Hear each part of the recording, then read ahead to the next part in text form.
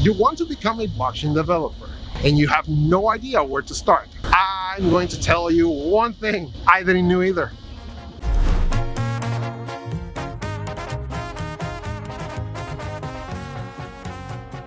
The first thing that you have to do in order for you to become a blockchain developer is understand that it's not going to take you six months. It's going to take you a lot of time. You have to spend nights, you have to spend weekends learning and mastering a technology. It's not going to be an overnight thing. It's not going to be something that you are going to be able to do overnight. I've been learning blockchain for the past three years and I still think and I still see myself learning and mastering blockchain for three more years. I I'm going to set a real and honest expectation to become a blockchain developer. Three, four years. Why? Why am I giving you this number? Because the field of blockchain is constantly changing. This is an evolving technology. It's not a technology that has matured to understand what we need to learn to become proficient. Let me put it this way. You know in blockchain, when we execute transactions, let's for example take Ethereum. If I want to execute a transaction on the blockchain, I will be paying gas fees. The cost that is going to incur if I need to store data on the blockchain or if I need to execute a function, any function that is going to trigger data storage, it's going to incur in gas fees.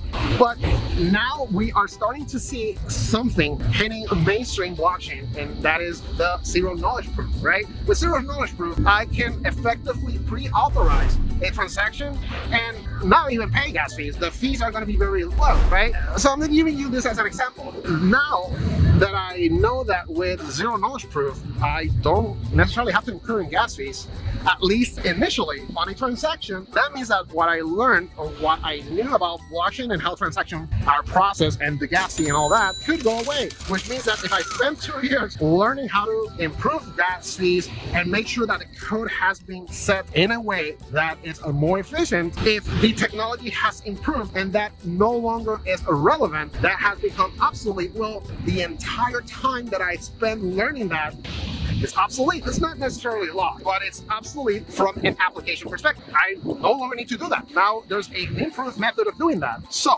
my point is, in blockchain, things are changing, things are improving, which means that what you learn today could be irrelevant in two or three months, right? But I always think that there's no such thing as losing knowledge. You always improve knowledge, you never lose knowledge, or you never lose the value of something that you obtain through knowledge, through education. You probably have to improve it. You probably have to append more disciplines on something that you already knew, okay? Blockchain is constantly changing, which means that you constantly have to keep up with the space. You have to constantly keep up learning and adapting and obtaining more information and making sure that you can use that information to build applications and to make the code more resilient and more improved, all right?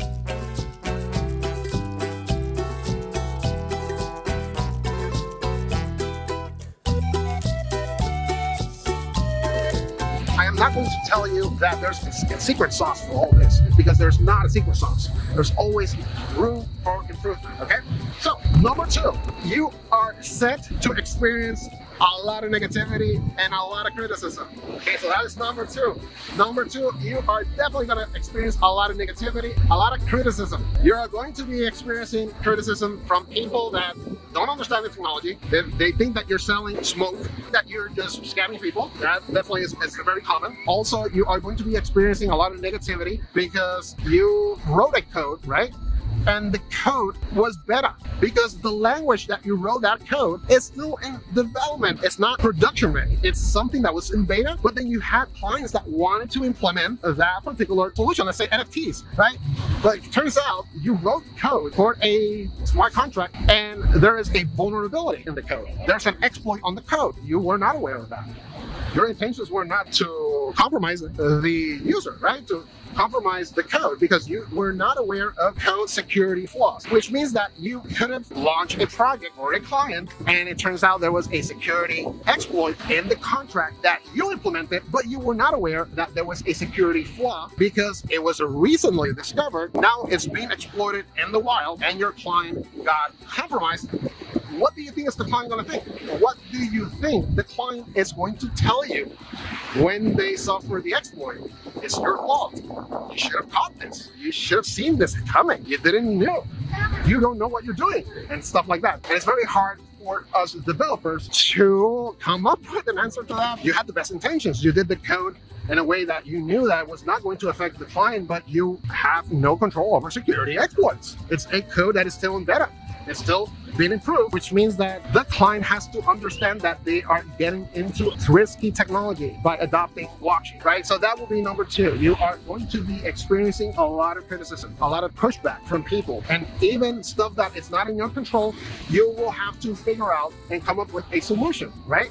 I personally think the following. If I know that I am going to be selling something, I am going to be offering my skill in a technology that is not yet secure to the point that is safely set for production release, I have to set those expectations clear with the customer. Either we have to put a disclaimer to tell the end client, so you have to set those expectations to the client. You have to have the mental strength to endure that kind of thing, okay?